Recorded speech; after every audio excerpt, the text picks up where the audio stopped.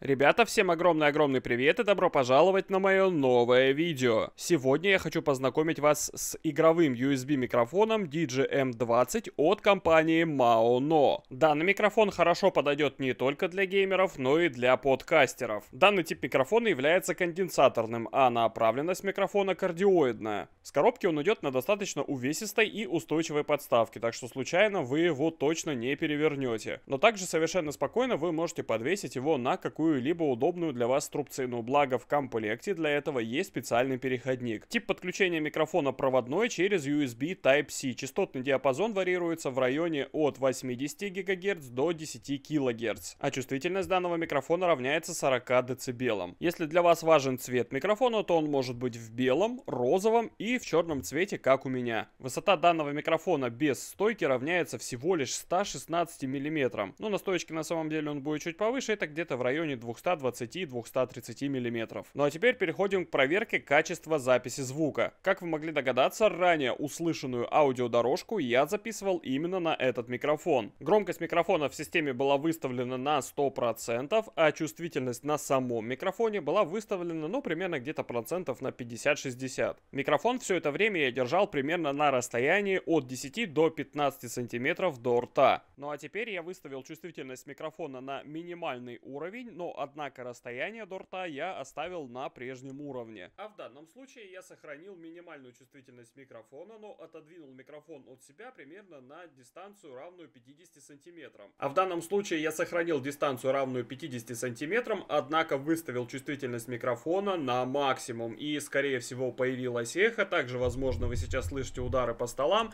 нажатие на клавиши клавиатуры и нажатие на кнопки мышки. И проведя выше указанные тесты, я понял, что для моего голоса достаточно выставить чувствительность микрофона где-то примерно на серединку, оставить громкость микрофона в системе на 100% и держать его в районе 10-15 см от рта. Тогда и не будет слышно нажатие клавиш на клавиатуре, чуть-чуть, конечно, будет слышно нажатие кнопок мышки, но зато не будет слышно эхо и не будет слышно того, как жужжит мой системник под столом. Также у микрофона есть достаточно интересная функция, ну так скажем, встроенного местного шумодава. Сейчас я говорю и одновременно стучу по столу кулаком, нажимаю всяческие возможные клавиши, еще раз стучу кулаком, просто перебираю пальцами по столу вокруг себя, что-то делаю, стучу ладошкой, стучу по стене, гремю коробкой. Ну и как бы типа по идее этот шумодав должен с этими всеми шумами справляться, фоном меня должно быть хорошо при этом слышно. В сравнении с тем микрофоном, которым я пользуюсь каждый день, качество записи моего голоса на этом микрофоне как будто бы без каких-то басов, что ли, не знаю. Такое ощущение, что здесь преобладают более высокие частоты и такое чувство, будто этот микрофон больше подойдет АСМРщикам. Ведь согласитесь, АСМР это круто.